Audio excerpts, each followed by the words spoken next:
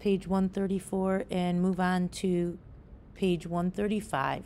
So covalent bonds is when two nonmetal atoms share valence electrons so they both can end up with configurations like a group 18 element.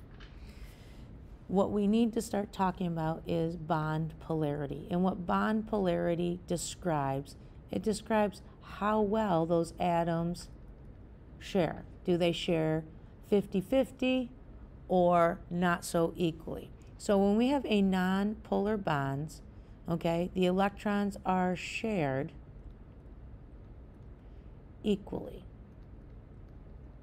in the bond. And the reason for this is that the nonmetal atoms have either the same or similar electronegativity values. And what this does is, a, is it allows the electron, the electrons in those valence orbitals to equally distribute between the two nuclei. So the end, that electronegativity difference, it is less than 0.5. So basically the it will be somewhere between 0 and 0.4. So if our END, our end is difference is somewhere in this range, we classify it as a nonpolar bond. Whereas polar, polar bonds form when the electrons are not shared equally. The, and the reason is that the nonmetal atoms have, have very different electronegativity values. So they have different electronegativity values. The nonmetal with the higher electronegativity has a stronger pull on the electrons in the bond and it pulls the electrons towards itself. So the END is greater or equal to 0.5. So basically we will see a range of somewhere an END of 0.5 to somewhere around 2.0 within that range.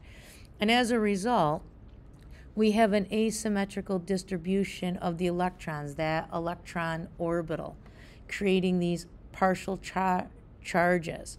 So if you take a look here, so in this first picture, you see how there's kind of, it's very symmetrical. The electron valence orbital that's being shared is equally distributed between the two nuclei. Where here, the there's a definite difference in the cloud. One side is electron rich and the other side is electron poor.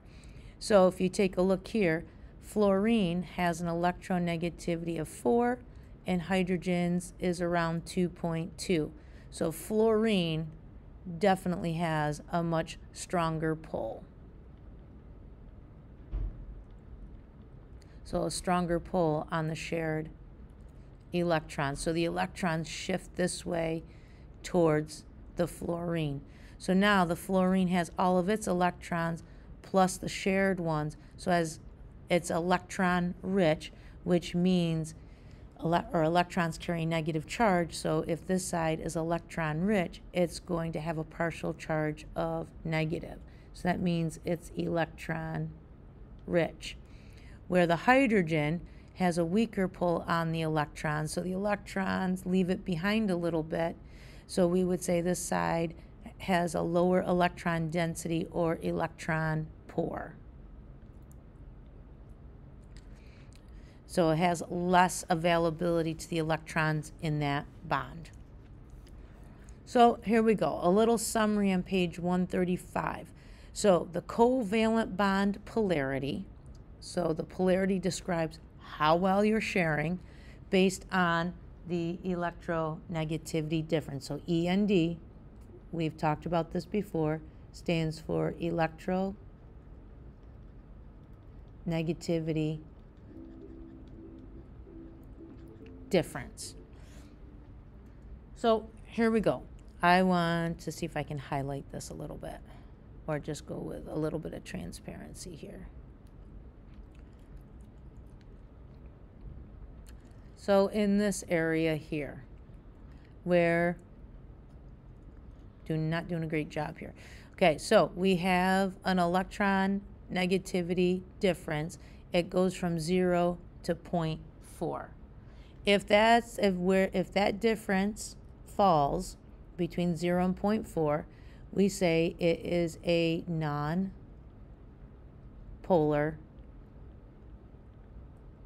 covalent bond. So this means is that we have equal sharing. Now, if if we have a little bit bigger level of difference, where our difference is in this region, it's at least 0.5 and it reaches close to 2.0, then there is still sharing. We but it's less sharing, so we would say it is a polar covalent bond. So we would just simply say we have unequal sharing. And then we can get to an area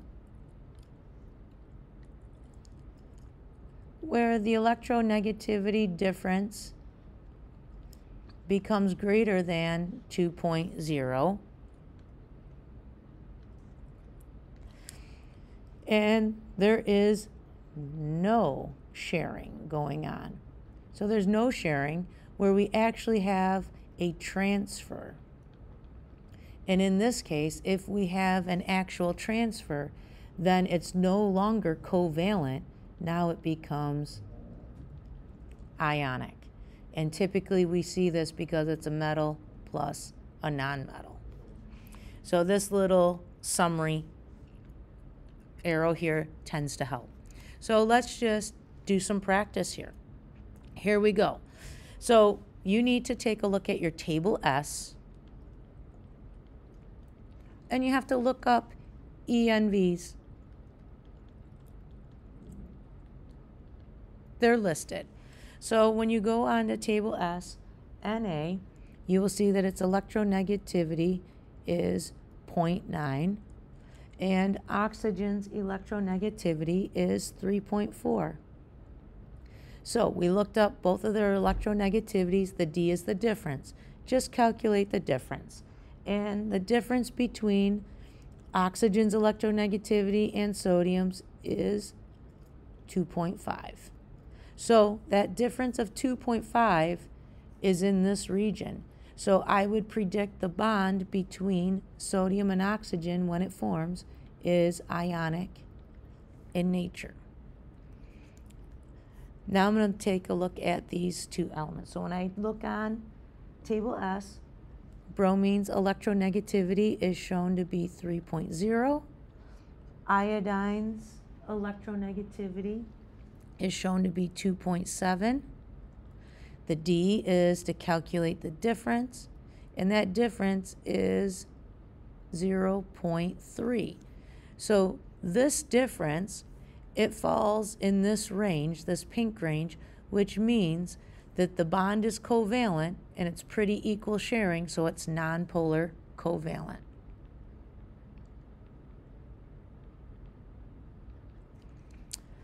And the last example is between carbon and fluorine. When we take a look at carbon's electroneg electronegativity value, it's listed as 2.6. Fluorine's is shown to be 4.0. The D means difference. So when you calculate the difference, it is 1.4. And you take a look, this difference of 1.4, it is 0.5 or greater, but less than 2. So it is a covalent bond but we would describe it as polar because it's not, they're not sharing the electrons equally. So this means we have a polar covalent bond. Now, here we go. Last part of this. So the atom with the higher or larger electronegativity, it will carry a partial negative charge. So this like weird little sign, it's like a fancy D with a curly Q, that stands for partial. And so that's our electron rich or a denser area of where electrons exist. By default, the atom with the lower electronegativity, it will carry a partial positive charge because the, it's electron poor or it has it's less dense, so it's electron light. So there's two things that you may have to do. So let's look at a couple of examples. Assigning partial charges. So the first thing you do is look up their electronegativities. Hydrogen's EN is 2.2 and chlorine's is 3.2. Chlorine has the higher electronegativity and that difference is a 1. So in this case, I can show it like this. The electrons shared between hydrogen and chlorine, those electrons are pulled towards the chlorine because it has the greater electronegativity value. So this side has the higher EN. It has the greater electron pull towards it. And notice we do this arrow with a plus side, so that means that the electrons spend less time towards here. So if we're going to do the partial charge sign, so that weird like looking like little curly Q, the side with the higher electronegativity, electron rich. More electrons, more negativity there. The opposite side, where the electrons are pulled away from, less negativity there, so that side is positive. Let's take a look at a couple more examples. So down here we have water. So oxygen's electronegativity value, as shown on table S, is 3.4. Hydrogen is still a 2.2. Well, oxygen has the greater electronegativity value, so the bond or the electron shared between this first hydrogen and that oxygen, they are pulled towards the oxygen. The same thing is true. This other hydrogen, its electronegativity is still less than the oxygen's. So the oxygen has a stronger pull and is pulling those electrons towards itself. So if we have to do the partial signs, draw them in there. Because the electrons are pulled towards the oxygen, the oxygen side of the molecule, partial negative, and the side of the molecule where each of the hydrogens, hydrogens are, partial positive. Here we go. Now we have nitrogen. And when you look up its electronegativity values, this first nitrogen, its electronegativity value is 3, and the other nitrogen's electronegativity value is 3. Because they have the same ENs, there is there is no um, electron rich or poor side.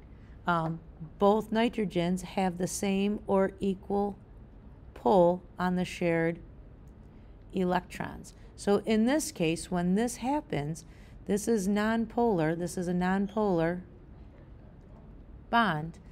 That means that there are no partial charges because there's equal pull. The electrons are equally distributed within the bond. So our last example over here, we have carbon dioxide, looking up their values. Um, oxygen, because we saw it here, is still 3.4. So we have a 3.4 for each of the oxygens. And the carbons, electronegativity value listed on table S is 2.6. The oxygens, this oxygen has a greater pull on the electrons in this bond because oxygen has the higher electronegativity. So the electrons are going to be pulled in this direction. The other oxygen has a greater pull on the electrons within the bonds between it and the carbon So those electrons are pulled more towards the oxygen. So if we're doing the partial charge signs, since the electrons here in this on the left double bond are pulled more towards the oxygen, this oxygen has a negative sign. And because these electrons on the right side double bond are pulled more strongly towards that more right oxygen, that oxygen also has a partial charge of negative. For the carbon, the electrons are being pulled away in both directions, so the carbon has a partial charge of positive. With a little bit of practice, you'll be able to get this down.